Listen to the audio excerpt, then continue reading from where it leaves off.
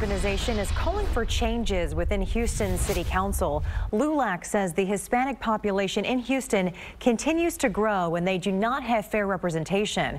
Now they're demanding a major overhaul of the City Council seats.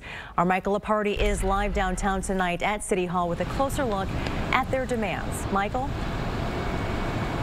Christine, as you pointed out, the group says that the Hispanic population in our area has been growing by leaps and bounds, but they don't feel like that's reflected on City Council.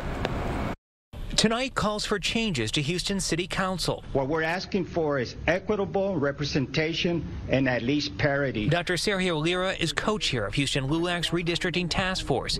He credits a growing Latino community for the growth in Houston and Harris County. But the issue is is why do we only have one representative on city council? Why don't we have equitable representation in all our institutions in Houston? The group is asking for the elimination of the city's five at-large council seats and for four new districts to be created. Where it would allow more Latinos to run for office and truly have the community be represented. Not everyone supports that change, including Dr. Letitia Plummer, who holds one of those at-large seats. Limiting at-large positions, I don't believe, is the answer. Do we need more Hispanic representation?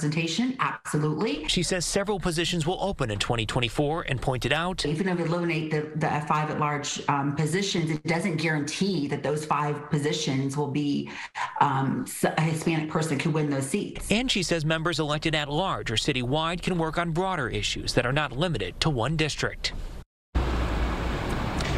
If the proposal were to move forward, the council member says it would ultimately require an amendment to the city's charter.